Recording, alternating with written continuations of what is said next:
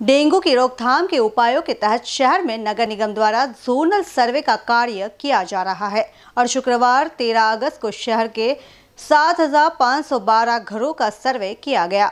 Dengue रोकथाम अभियान के तहत निगम की स्वास्थ्य टीम डेंगू पीड़ितों के आवास के आसपास के क्षेत्रों में सर्वे कर आवश्यक कदम उठा रही है। शुक्रवार को जोनल टीम ने 7,512 घरों का सर्वे किया। इनमें से दो घर दूषित पाए गए, यानी इन घरों में डेंगू के लार्वा पाए गए हैं। इसके अलावा बुखार के उनसठ मरीज़ मिले हैं, तिरानवे व्यक्तियों के रक्त के नमूने और तेईस व्यक्तियों के रक्त के नमूने लिए गए। सर्वे के दौरान पचपन घरों के कूलरों का निरीक्षण किया गया। 104 कूलरों में मच्छर पाए गए। निगम की टीम ने 290 कूलर खाली किए हैं। 470 कूलरों का इलाज एक प्रतिशत टेमिफोज घोल से किया गया और तीन सौ अड़तीस कूलरों में दो प्रतिशत डिफ्लूबेंजुरोम गोलियों से उपचारित किया गया है। गप्पी को सत्तावन कूलरों में भी फेंका गया है।